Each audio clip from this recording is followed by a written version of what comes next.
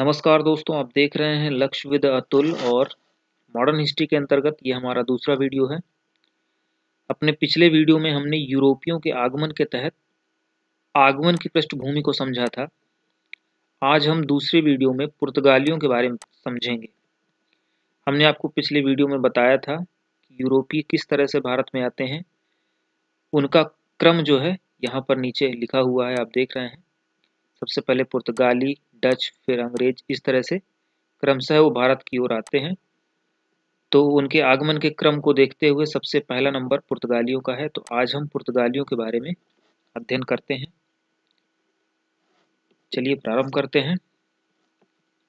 पुर्तगालियों में सबसे पहले बात हम वास्को दिगामा के बारे में जानेंगे। वास्को दगामा चौदह सौ ईस्वी में पुर्तगाल से आया था और मॉरिसस पहुँचा था। आप इस मानचित्र में देख सकते हैं। ये पुर्तगाल दिखाई दे रहा है। पुर्तगाल से आता है ये। इस रास्ते का सहारा लेकर के ये देखिए आ रहा है। इस रास्ते के माध्यम से ये पहुँचता है मॉरिसस मॉरिसस में मुलाकात करता है अब्दुल मनीद नामक गुजराती व्यापारी से और इससे मार्ग पहुँचता है। ये स्वयं तो नहीं आया और इसने अपने एक चेले को जिसका नाम अब्दुल मनीद था उसको वास्को दगामा के साथ भारत भेज दिया और कालीकट ये पहुँच जाता है। यहाँ से आप देख रहे हैं मॉरिसस से ये होते हुए कालीकट पहुँच जाता है। तो इस तरह से वास्को दगामा चौदह सौ अट्ठानबे ईस्वी में पुर्तगाल से चल करके भारत आ जाता है। लोगों से रास्ता पूछते पूछते वास्को दगामा विक्टर नामक जहाज़ से भारत आया था। प्रश्न आपसे पूछा जाएगा, किस जहाज़ का उसने इस्तेमाल किया था? कालीकट पहुँचा प्रेजेंट में केरल राज्य में है। कप कड़ाबू, उस समय एक बंदरगाह हुआ करता था, वहाँ पर उतरता है। जब ये यहाँ पर उतरता है तो यहाँ पर चूलिया नामक जो मुस्लिम अरब व्यापारी थे, उन्होंने इसका विरोध किया। वो समझ रहे थे कि कहीं ना कहीं हमारे व्यापार में ये प्रॉब्लम क्रिएट कर सकता है। इसलिए उन्होंने इसको भाव नहीं दिया। लेकिन ये पहुँचता है जमोरिन वंश के हिंदू शासक कृष्णराज के पास। कृष्णराज ने इसका स्वागत किया और मसाले, जड़ी बूटियाँ इन सबको ले जाने के लिए इसको आज्ञा भी दी। इस तस्वीर के माध्यम से आप देख सकते हो, ये हिंदू शासक है जमोरिन, उसको परमिशन दे रहा है। यहाँ से वास्को दगामा बहुत सारा माल ले जा करके बहुत सारे मसाले ले जाकर के यूरोप में बेचता है और 60 गुना लाभ प्राप्त करता है।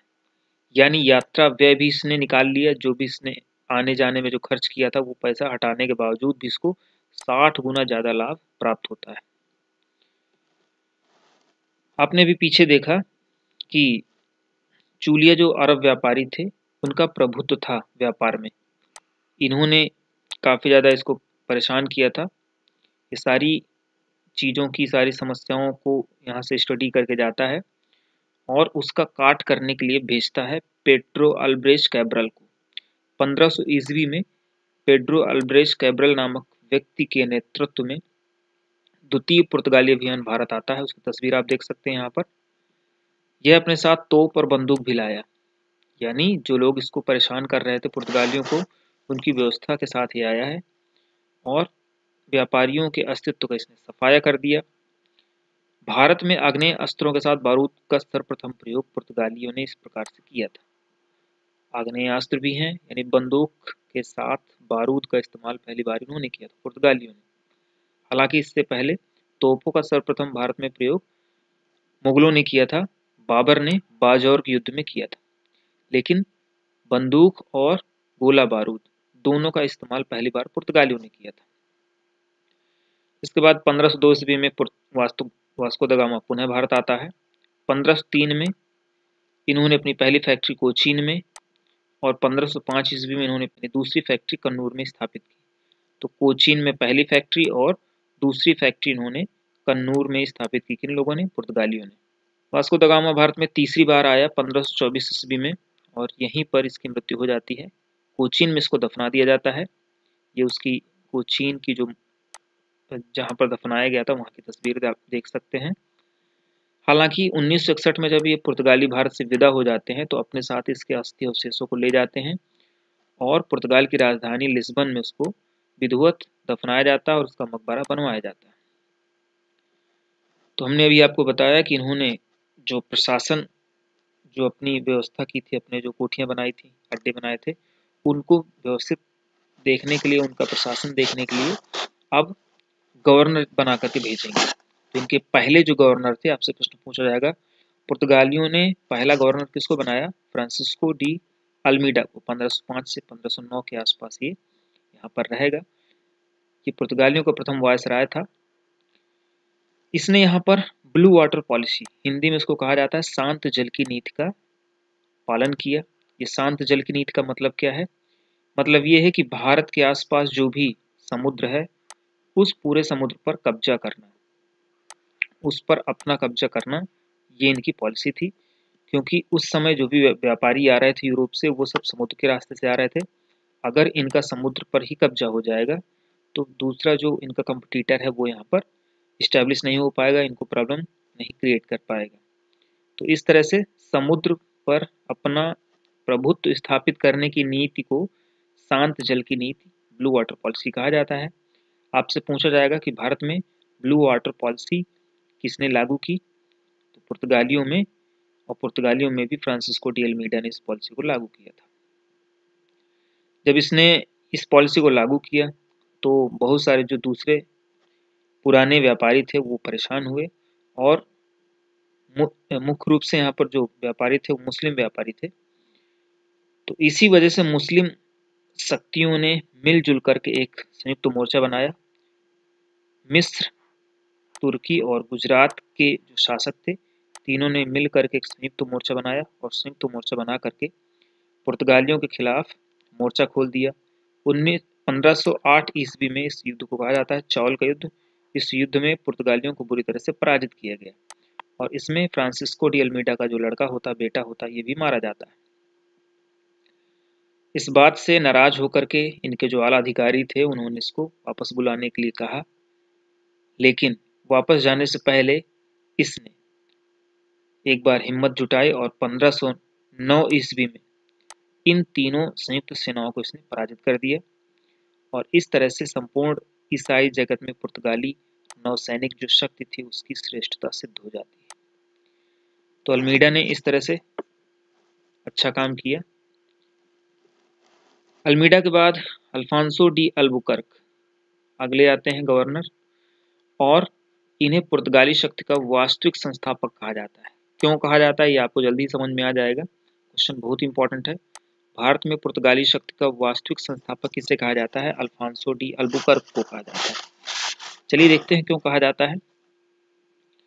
सबसे पहला, ये उस समय विजयनगर साम्राज्य जो था, उसके शासक थे कृष्णदेव राय। उनके साथ संधि करते हैं और कहते क्या हैं? पुर्तगाल से आने वाले घोड़ों की बिक्री विजयनगर में की जाएगी। जो भी पुर्तगाल से घोड़े लाए जाते हैं भारत में बेचने के लिए, वो सिर्फ़ और सिर्फ़ कहाँ पर बेचे बेचे जाएँगे? विजयनगर साम्राज्य में बेचे जाएँगे। साथ ही कृष्णदेवराय से समझौता करके, या कृष्णदेवराय की हेल्प से, क्योंकि कृष्णदेवराय का जो विरोधी था वो कौन था? बीजापुर के शासक थे। तो कृष्णदेवराय ने मदद की बीजापुर के आदिल शाही सुल्तान से गोवा छीनने में। यानी कृष्णदेवराय की मदद से अलबुकर्क ने बीजापुर के आदिलशाही सुल्तान से गोवा छीन लिया 1510 ईस्वी में। आगे चल कर के 1530 में इसी गोवा को ये अपनी राजधानी बनाएँगे और यही गोवा पुर्तगालियों को भारत में सबसे मुख्य अड्डा बन जाएगा। कृष्णदेव राय से भटकल का भूभाग प्राप्त किया और अपने सेनापति फादर लुई को कृष्णदेव राय के सेना में नियुक्त किया। ये बहुत इंपॉर्टेंट क्वेश्चन है। फादर लुई को इन्होंने कृष्णदेव राय की सेना में अपॉइंट किया था। किसने अपॉइंट किया था? अल्बुकर्क ने। ठीक है? तो कृष्णदेव राय से काफ़ी इन्होंने मित्रता कर रखी थी, काफ़ी हेल्प ली उनसे। इसके बाद इन्होंने महत्वपूर्ण काम क्या किया? आगे देख लेते हैं। 1511 ईस्वी में दक्षिण पूर्व एशिया की महत्वपूर्ण मंडी मलक्का। मलक्का दक्षिण पूर्व एशिया में, यानी भारत के दक्षिण में आप चले जाएँगे इंडोनेशिया के आसपास तो मलक्का जल संधि मिलेगी। तो मलक्का पर इसने अधिकार कर लिया। 1515 ईस्वी में फारस की खाड़ी के मुहाने पर स्थित हारमुज पर अधिकार कर लिया।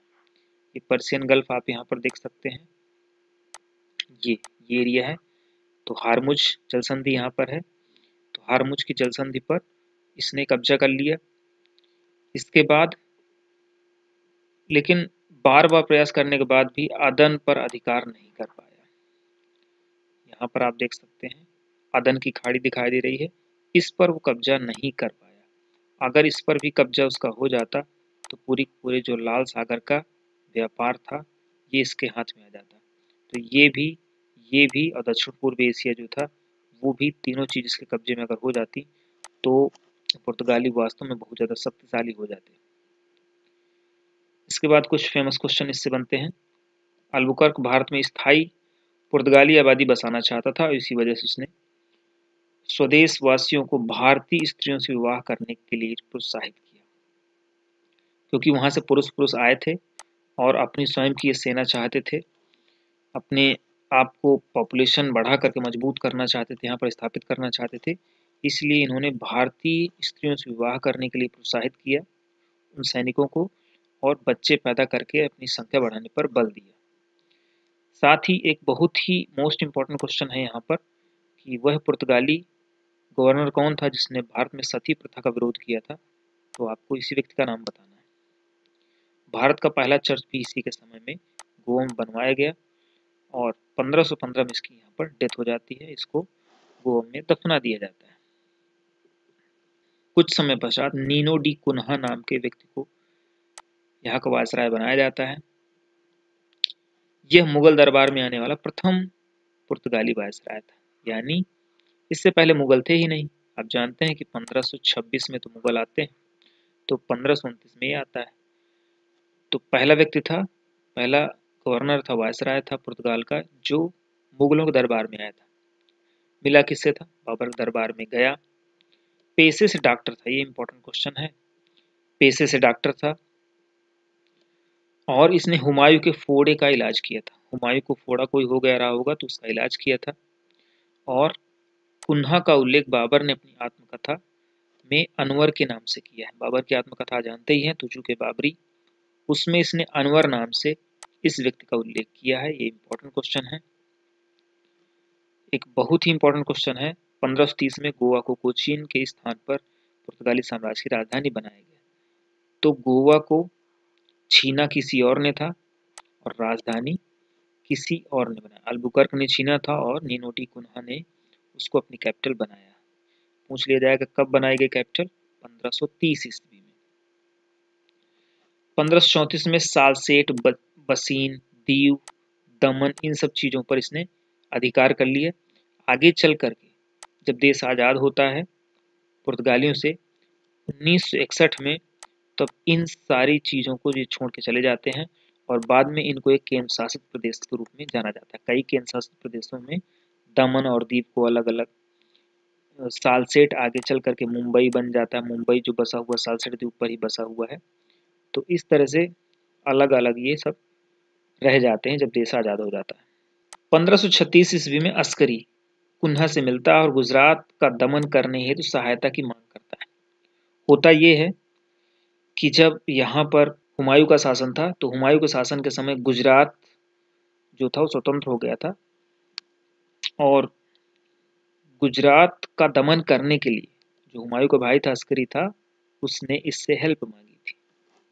इस बात को हम आगे चल करके मुगल में अच्छी तरह से पढ़ेंगे। आइए बात करते हैं पुर्तगालियों के एक बहुत ही इंपॉर्टेंट टॉपिक के बारे में, जिसके बारे में अक्सर प्रश्न पूछा जाता है। कार्ड्स आर्मेडा काफिला सिस्टम इसको किसने इंट्रोड्यूस किया था क्या है? तो तीन चीज़ें हैं यहाँ पर। पहली चीज़ हमें कार्ड्स के बारे में समझना पड़ेगा, दूसरी चीज़ हमें आर्मेडा के बारे में समझना पड़ेगा, और तीसरी चीज़ हमें काफिला सिस्टम के बारे में समझना पड़ेगा। कार्ड्स का मतलब है एक प्रकार का परमिट एक प्रकार की परमिशन यानी किसी भी व्यक्ति को भारत में व्यापार करना है तो उसको एक प्रकार की परमिशन लेनी पड़ेगी। कार्ड परमिशन लेनी पड़ेगी, तभी वो व्यक्ति भारत में व्यापार कर सकता है। परमिशन के बदले उसको कुछ टैक्स भी पे करना पड़ेगा। तो अगर किसी व्यक्ति को टैक्स पे करना पड़ेगा तो परमिशन क्यों लेगा वो? लेकिन उसको लेना पड़ेगा। क्यों? क्योंकि उसके पास यानी पुर्तगालियों के पास आर्मेडा है। आर्मेडा का, का मतलब क्या होता है? एक प्रकार का नौसैनिक बेड़ा। एक नौसैनिक बेड़ा है। इसके डर पर आपको ये कार्ड्स लेना पड़ेगा। मान लीजिए हम व्यापार करने के लिए आ रहे हैं। हमने मना कर दिया कि हम कार्ड्स नहीं लेंगे। क्योंकि कार्ड्स लेंगे परमिट लेंगे तो हमको कुछ टैक्स पे करना पड़ेगा। तो हमने अगर मना किया तो हमें डराने धमकाने के लिए एक आर्मेडर खड़ा हुआ है। एक नौसैनिक बेड़ा। सैनिकों से लैस, गोला बारूद से लैस, तोपों से लैस एक आर्मेडा यानी एक नौसैनिक बेड़ा खड़ा हुआ है, जो हमें मारेगा, हमको तहस नहस कर देगा। तो इस आर्मेडा की डर की वजह से हम कार्ड्स लेना पड़ेगा, जिस प्रकार का परमिट लेना पड़ेगा। इस परमिट को लेने के बाद आप देख रहे हैं यहाँ पर नीचे लिखा हुआ है इस परमिट के बिना कोई भी, भी भारतीय अरबी जहाज़ अरब सागर में नहीं जा सकता था। इसे कार्ड आर्मेडा व्यवस्था कहा गया जो भी व्यक्ति इस अनुमति पत्र को ले लेता था तो उसे काली मिर्च तथा गोला बारूद का व्यापार करना प्रतिबंधित हो जाता था। यानी हमने परमिशन ले ली है तो हम बाकी इन दो चीज़ों को छोड़ करके हर चीज़ का व्यापार कर सकते हैं। काली मिर्च का व्यापार इसलिए नहीं कर सकते क्योंकि पुर्तगाली काली मिर्च को यूरोप में बेचकर अत्यधिक लाभ कमाते हैं।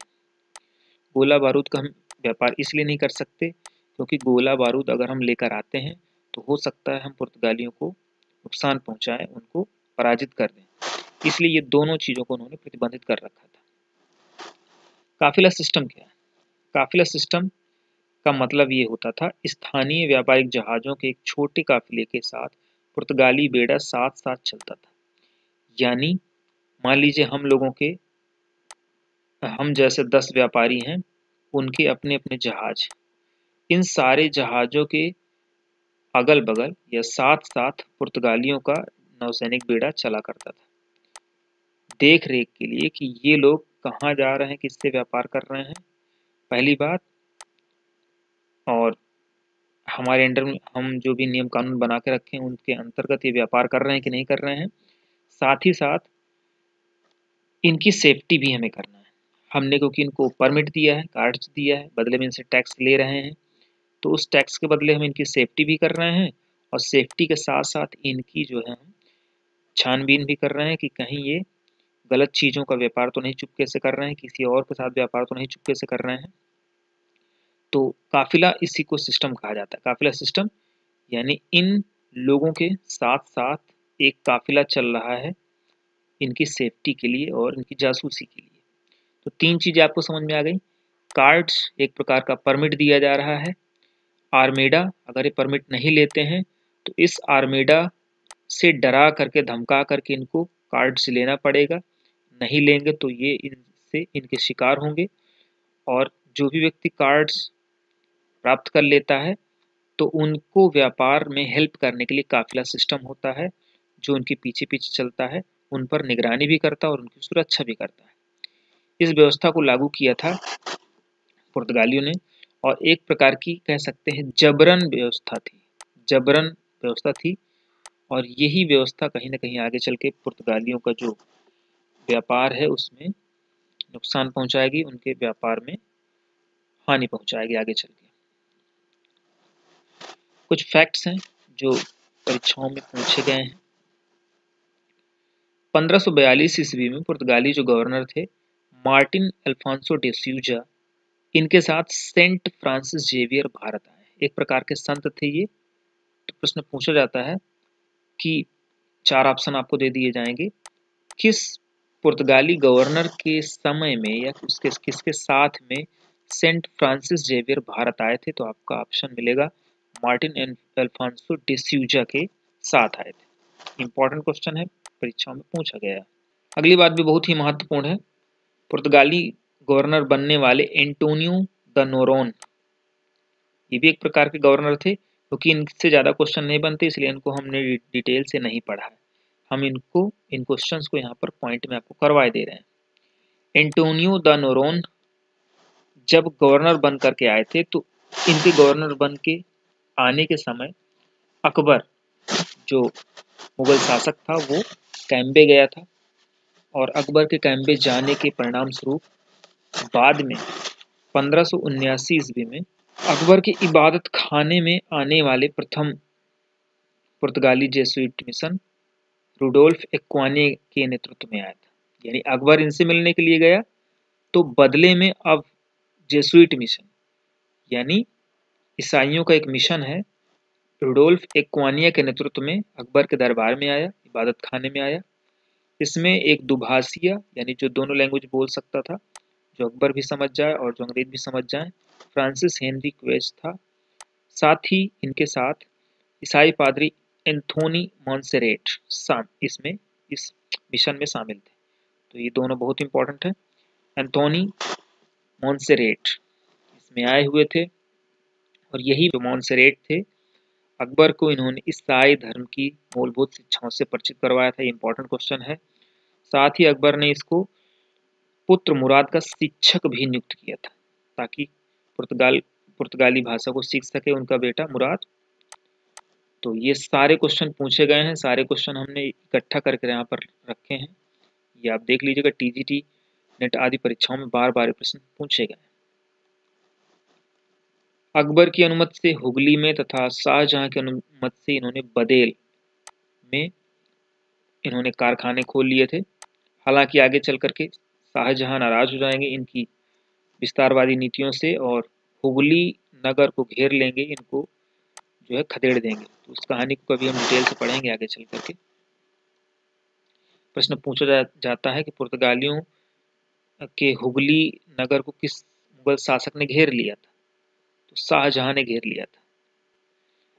आइए पुर्तगाली फैक्ट्रियों की स्थिति के बारे में बात कर लेते हैं। वो कौन कौन सी पुर्तगाली फैक्ट्रियाँ थी जो पश्चिमी तट पर, पूर्वी तट पर, दक्षिण एशिया और दक्षिण पूर्व एशिया में स्थापित थी?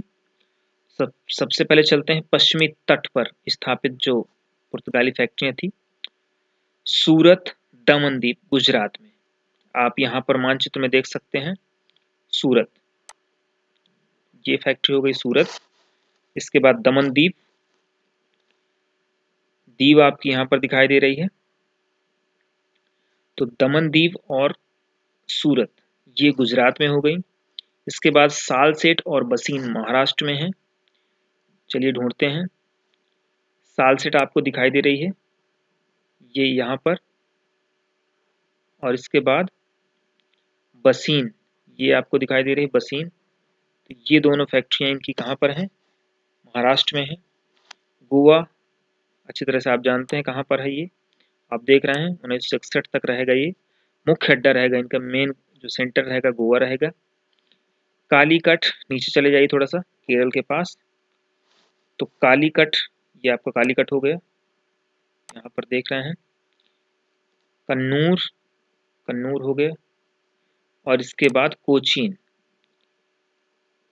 कोचीन। हमने आपको बताया था कोचीन में इन्होंने अपनी पहली फैक्ट्री खोली थी और कन्नूर में इन्होंने अपनी दूसरी फैक्ट्री खोली थी। ध्यान रखिएगा, बहुत इंपॉर्टेंट क्वेश्चन है। कोचीन को इन्होंने अपनी पहली फैक्ट्री में, कोचीन में इन्होंने पहली फैक्ट्री बनाई थी और कन्नूर में दूसरी फैक्ट्री इन्होंने पुर्तगालियों ने भारत में बनाई थी। ये इनके हुए पश्चिमी तट पर, जो भी इनके प्रमुख अड्डे थे।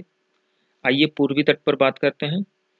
तमिलनाडु पर सैंथोमे सैंथोमे तमिलनाडु पर इनकी एक फैक्ट्री है, जबकि हुगली, सतगांव, चटगांव, ये सब बंगाल में चले जाइए। तो हुगली दिखाई दे रही है, ये आपकी हो गई हुगली, चटगांव हो गई। चटगांव को ही ये पोर्ट ग्रांडे के नाम से जानते थे तो ये इनकी फैक्ट्रियाँ पूर्वी तट पर हो गई। दक्षिण एशिया में, श्रीलंका में आपकी हो गई।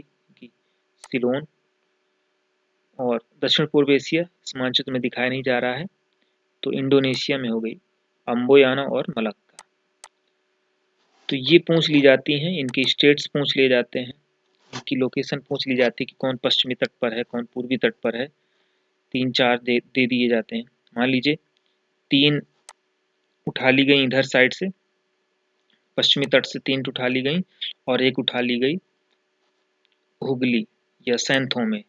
पूर्वी तट की एक तो दे दी गई, छाट के बताइए कौन पूर्वी तट में था, नहीं था, ऐसे करके प्रश्न बनते हैं। तो इसको मैप बना करके अच्छी तरह से आप इनको नाम लिख लिख करके अच्छी तरह से याद करिएगा कौन सी फैक्ट्री कहाँ पर है। यहाँ से डिटेल से प्रश्न पूछे जाते हैं। आइए पतन के कारणों के बारे में चर्चा कर लेते हैं शॉर्ट में। किस वजह से पुर्तगालियों का जो पतन हो गया और पुर्तगालियों के बाद अन्य जो लोग थे, डच, अंग्रेज़ ये लोग सक्सेस कैसे हो गए? धार्मिक असहिष्णुता इनकी ये प्रमुख रीजन था, जिस वजह से ये काफ़ी ज़्यादा असफल रहे थे भारत में। क्या किया था इन्होंने? तो इन्होंने जो भी मिलती थी इनको, मस्जिदें मिलती थी या मंदिर मिलते थे, उनको तोड़ करके वहाँ पर चर्च बनाने का प्रयास करते थे। इस वजह से लोगों से काफ़ी ज़्यादा, लोगों में इनके प्रति काफ़ी ज़्यादा असंतोष उत्पन्न हो गया था।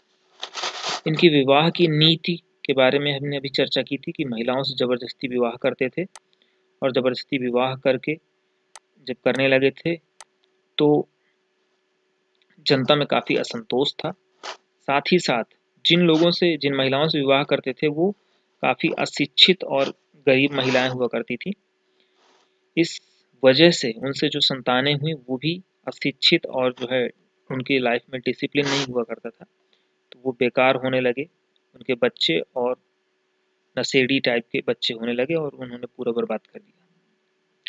नए उपनिवेश ब्राज़ील की खोज। जब इन्होंने ब्राज़ील की खोज कर ली थी देखा कि भारत में कंपटीशन बढ़ता जा रहा है तो ब्राज़ील की, की, की ब्राज़ील की ओर इन्होंने रुख किया और भारत पर विशेष ध्यान इनकी दोषपूर्ण व्यापार प्रणाली। हमने आपको बताया इनका व्यापार इस तरह से हो रहा था कि ज़बरदस्ती करना चाहते थे। सब चीज़ों पर खुद का कंट्रोल करना चाहते थे, इन वजहों से जो व्यापारी थे भारत के, वो इनसे खुश नहीं थे और इस वजह से सक्सेस नहीं मिल पाई। और अंतिम है, स्पेन द्वारा पुर्तगाल का विलय। उधर इनके ही देश पर, यानी पुर्तगाल पर स्पेन के द्वारा कब्जा कर लिया जाता है। इस वजह से अब इनकी कुछ चलती नहीं है। इनके सारे ड्रीम जो है खत्म हो जाते हैं, यानी ये कुछ नहीं कर पाते हैं। तो ये तमाम सारे रीजन होते हैं जिस वजह से ये इनका व्यापार यहाँ पर सक्सेस नहीं होता है। और अंत में देख लेते हैं, पुर्तगाली प्रभुत्व का परिणाम क्या हुआ? भारत में पुर्तगालियों ने आकर के कब्जा किया। इसके बाद क्या इम्पैक्ट पड़ा? आइए देख लेते हैं। तो सबसे पहले, पंद्रह में इन्होंने भारत में प्रिंटिंग प्रेस की स्थापना की थी। इस चीज़ की चर्चा हमने एक वीडियो में की है प्रिंटिंग प्रेस के विकास वाले वीडियो में। सर्वप्रथम इन्होंने बाइबिल को छापा था, उसके पश्चात आयुर्वेद को अंग्रेज़ी भाषा में निकाला था। जहांगीर ने डिमांड रखी, इस वजह से इन्होंने कुरान की भी प्रतिलिप अंग्रेज़ी में छपवाई थी और उसको जहांगीर के सुपुर्द कर दिया था। भारत में इन्होंने जहाज़ निर्माण का कार्य भी प्रारंभ किया था। ये भी इंपॉर्टेंट है। भारत में तंबाकू लाने का श्रेय इन्हीं को जाता है ये मोस्ट इंपॉर्टेंट क्वेश्चन है। तंबाकू भारत में पुर्तगाली लाए थे। साथ ही इन्होंने आलू, मक्का, अनानास, पपीता, बादाम, काजू, ये तमाम सारी चीज़ों को विभिन्न यूरोप के देशों से, अमेरिका से, भारत में लाए थे और भारत में इसको पहुँचाया था, फैलाया था। तो इस तरह से पुर्तगालियों के बारे में हमने सारी जानकारी कंप्लीट कर ली है। अपने अगले वीडियो में हम डचों के बारे में पढ़ेंगे। अगर हमारे वीडियो आपको पसंद आ रहे हैं, अपने दोस्तों को ज़्यादा से ज़्यादा शेयर करिए। मिलते हैं अगले वीडियो में, तब तक के लिए नमस्कार।